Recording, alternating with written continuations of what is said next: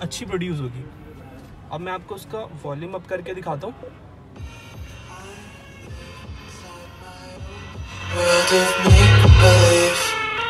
Kids screaming in the creative profanities I see the, the ice cover